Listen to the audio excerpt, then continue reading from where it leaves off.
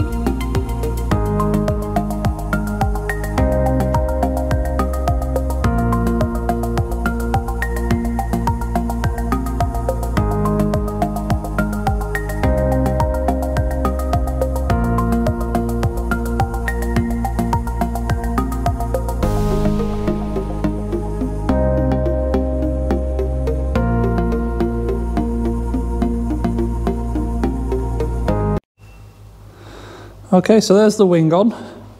Like you saw, I did get the washer bottle in, it's all plumbed up. All the connections are in place. And yeah, it's looking an okay match. The door's still dirty, so um, might get a bit better when that's been washed. There is a little bit of a dent there as well, unfortunately. Shows up more now the wing's there. But yeah, getting getting there. Now off camera I decided to put the bumper together. So this is the bumper. You'd be surprised how many bits there is in these bumpers. It takes a while. And this bottom section is the piece that we're missing. And there's a little bit of a trim just to go on there. Like this side. Uh, so when they come I'll put them in afterwards. But we're ready now to be fitting this bumper onto the car. So let's just get it back on stand, a bit of time lapse, and in no time it'll be looking like a car again.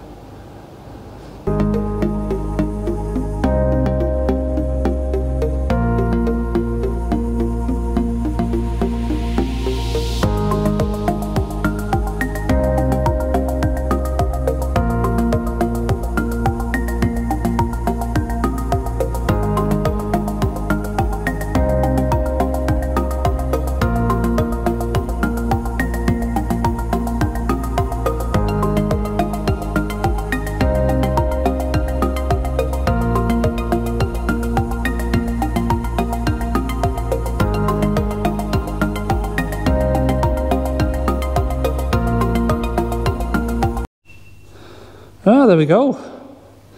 Button, buttoned up all that bumper, splash guards in, um, connected up all the washer hose, everything like that. And yeah, it's looking like a car. That looks really smart now, actually. I do have a little bit of adjustment still to do on the bonnet on the far side. Um, like I said, we do need to put a centre grille on the bottom of it. And there's a little bit of trim for the grille on the driver's side at the bottom. Still missing two little bits of under tray as well. Uh, I'll show you when we actually get them. So what we're to do now is I'll stop, I'll stop recording for now. I'll get these bits and uh, we'll come back again in this video still. We'll service it, we'll do the Haldex, fit them bits of grill, and uh, it'll be completely finished with and gone with. Because uh, I don't think there's much in this video so far, really. So yeah, but yeah, look at that. Really nice. Really nice looking car. Coming together well. So for you, it'll be minutes, well, seconds. For me, it's going to be a few days, but I'll see you shortly. Okay, so finally back on the TTS and we've made a start. I'm on with the service, we've got the oil drain in there and the bits of trim that I was referring to underneath, this was one of them. This little corner piece, we were missing that and obviously I need to fit the other one yet. But the next job is to fit a new outside temp sensor because we somehow lost the old one. Or I should say it got ripped off. That's the plug for it there. The cable's just it tied up at the minute. So I need to fit this because at the minute the the fans are running non-stop because it doesn't know the outside temperature. So once this is on it should solve that issue. And then there's not really much more to do. Fit the rest of the under trays, fill the oil up, and we still need to service this Haldex yet. There's your little Haldex motor. So we'll try and get onto that as well and hopefully get the job done.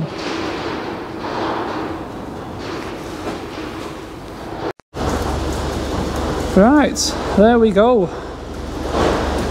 So we're done with the TTS. There's a couple of little bits still to do, but the car's actually going now. It's going to be used for a bit um, because we, we're still missing a part or two and the guy sold his car so he needs to use it. So this is going to be the last that you see of the TTS. Um, it won't be coming back on the channel. So really all there is left is that little tiny grill at the bottom in the middle. Don't know if you can even see on the camera, but that's still missing. So we need to, uh, well he's ordered it, it should have been here today, but it's, it isn't. And of course the little silver trim from the driver's side grill Joe like the passenger side. A little bit of silver trim missing. But other than that, it's done. And uh, yeah, it's off. It's off now. So I thought I'd just give you a quick look around it. We've serviced it. We've done the Haldex. It's uh, it's ready to go. A nice, nice, um, nice car. I think I've shown you inside, but we'll have another quick look. Ugh. Nice black seats. or your virtual cockpit.